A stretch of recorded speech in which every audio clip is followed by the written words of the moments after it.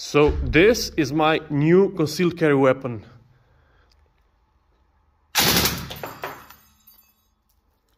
Perfect.